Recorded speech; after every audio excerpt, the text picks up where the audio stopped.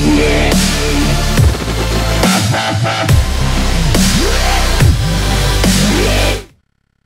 hi guys, welcome once again to my channel. So there's a bug you could say from WinRAR and what basically happens is as you can see I have already installed WinRAR but what basically happens is when you right click you will not see add files to WinRAR or the WinRAR entries are not showing.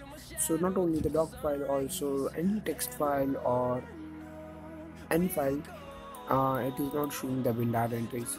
So in this video I'm going to show you how to really fix this up. So what this we need to do is just go to WinRAR, just open WinRAR and what you need to do is just go to options then setting and once you're here guys then go to the integration tab and there is an option called integrate WinRAR to shell.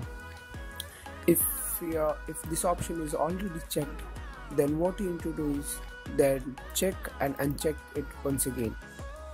And what you need to do is make sure at the uh, that it is checked itself.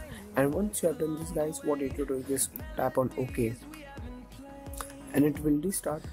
And what i will really suggest you is to do is go to applications and what you need to do is just search for explorer.exe then end process it don't worry then go to new task in the task manager and just type explorer.exe and just press ok.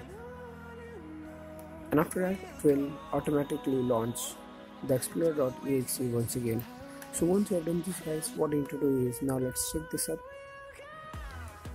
and as you could see the WinRAR entries is now back here so that's it guys i hope this video is very helpful do like, do subscribe, and do check my channel for more videos. Till then, bye. It's your host, Mr. Niamster, signing out.